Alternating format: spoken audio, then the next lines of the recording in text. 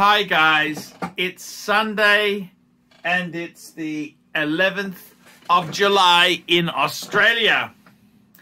I normally don't produce videos on Sunday. I'm normally too busy surfing the web and going out for a bit of a fitness walk. But today I'm, I'm making this vid because I, I think it, it has to be, be made there. And this is in relation to Timepiece Gentleman who just released a new video. I am so sorry. A message to my followers, the watch industry, and my friends slash family.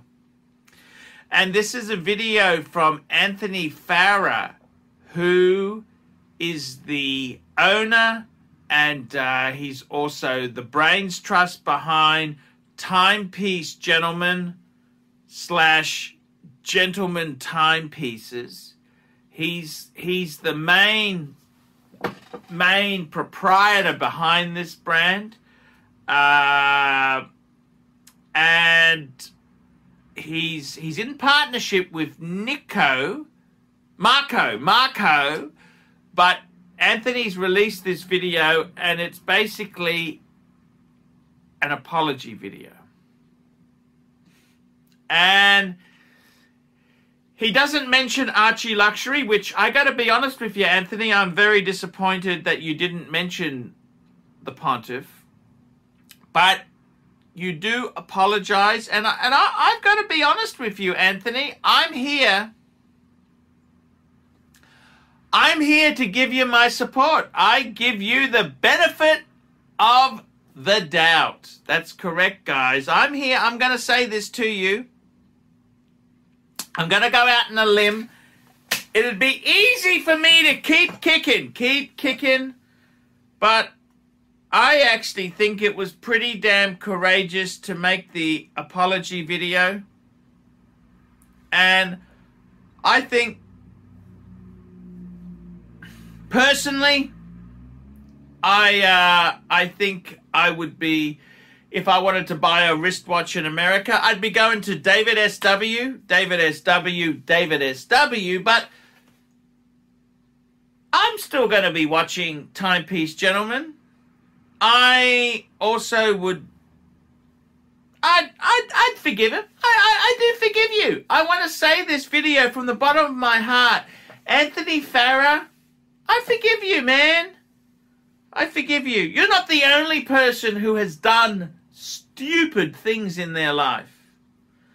And even myself at 48 years old, I continue to do really stupid things. Just ask my uh, third wife, my wife. She she would tell you many stupid things that I continue to do on a daily basis. And I got to say to you, um, I, I'm really proud of you for releasing that video.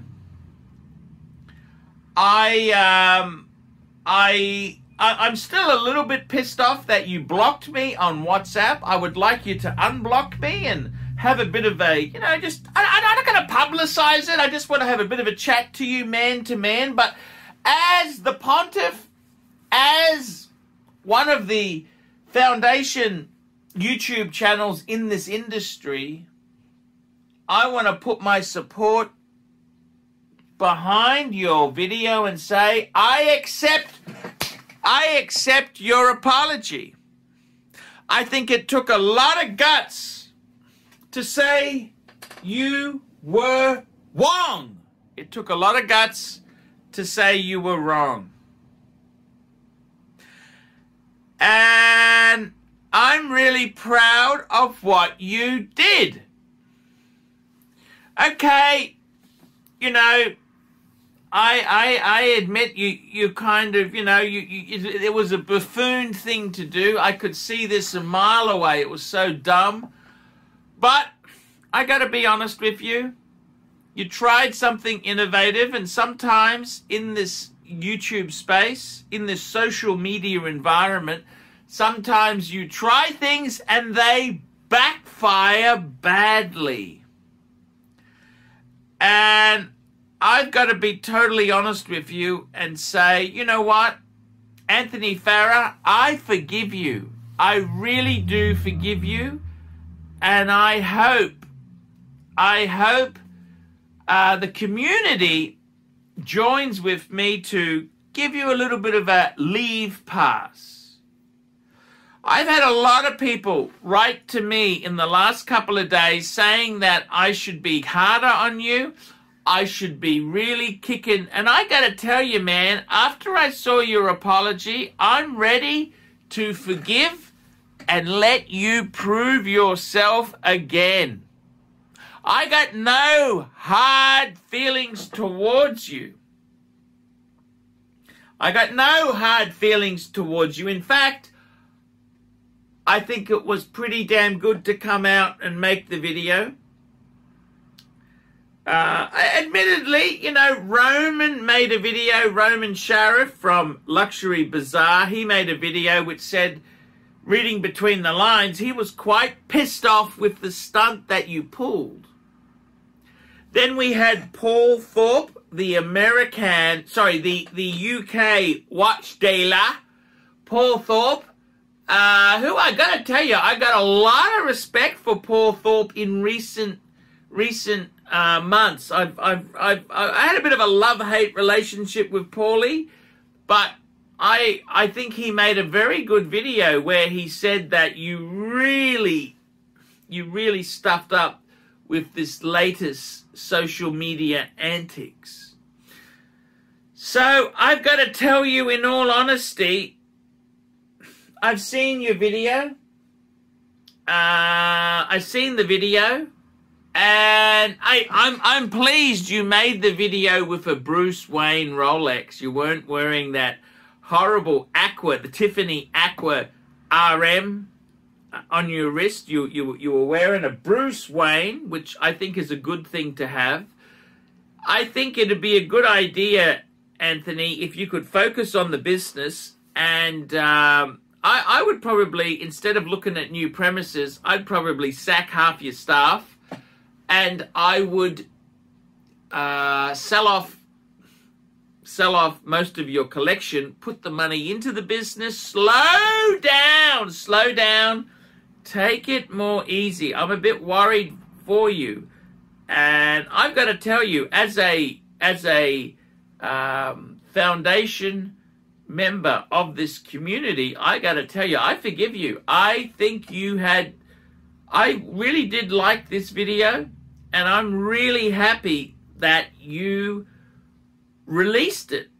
And yeah, you look. There's always it's always easy for people on the side to criticize and say he should have released it earlier. He should have done this. Yada yada yada. Well, you did release a video, and that's I think actions speak louder than words. So I I got to tell you, in, in all honesty, I think I think it's. Um, I mean, I still think you're a self-interested shit, of course, but hey, hey, most of us are. But I, I actually forgive you, Anthony. I, I tell you this. Being in the industry as long as I have, I, I'd like to say to you, man, I think it's time people lay back, lay off a little bit, and give you a bit of a chance to prosper. I really do um, I really do believe this. So I'd like to put my weight and support behind continuing to watch Timepiece, gentlemen. I would like to say that um, I think you're trying your best. You're trying to fix up a bad situation, which, man, that take a lot, lot of courage to do. I I understand why a lot of people can't forgive you, but I've got to tell you, as a YouTuber myself, I do forgive you. And I would say, hey, hey, let's just, you know, new slate, another day, clean slate, let's keep going there. So, um, I I think some people getting really nasty, and I, I'd like to see it stop. I would really like to see that stop, and I'd like to see them give you. I mean, I don't. I don't particularly like you as a person. I you kind of give me the shits, but I think your apology was nice enough.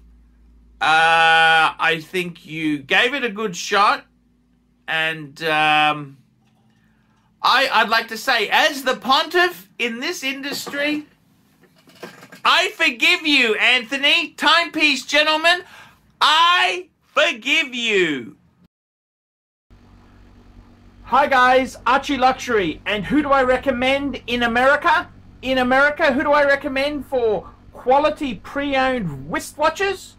David SW, David SW, David SW. Go to davidsw.com. He is the best, the greatest pre-owned dealer in all of the United States of America.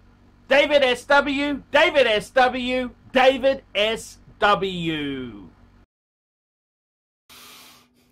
Like, subscribe, and tell your friends, and don't be afraid to get a paid review. 50 US dollars for a paid review. It helps me stay full time on YouTube, and I will see you in the next one. 50 US dollars paid review. I can't survive on Google Ads. I need your support. And guys, you could also sponsor me on Patreon. Patreon allows you to pay as little as a dollar a month to keep me on YouTube.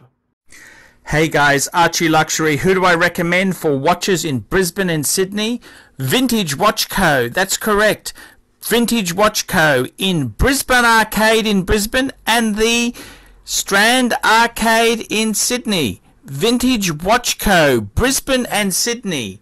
Ronnie, I've known him since the late 90s. Ronnie is a top bloke. Luke is a great guy. Vintage Watch Co.